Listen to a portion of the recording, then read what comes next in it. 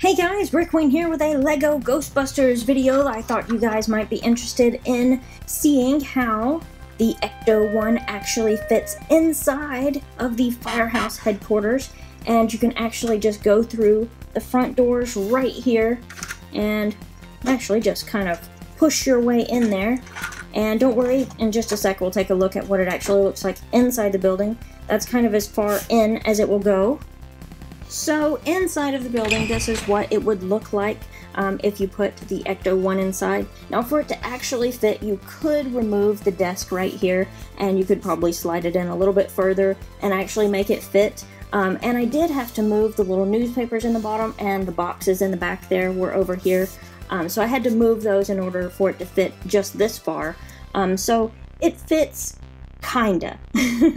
um, but you could move stuff around and make it fit perfectly. But I think it is kind of cool that they they did at least design it big enough to where it could fit through the front the front doors over here, which I think is awesome. Uh, but you can let me know your thoughts about it in the comments below. And if there's any other videos that you'd like to see related to Ghostbusters, could be comparisons or anything like that, just let us know in the comments below. And don't forget to give us a like for Ghostbusters, and we will see you guys later. Click here to check out more of our recent videos, and don't forget to subscribe before you go.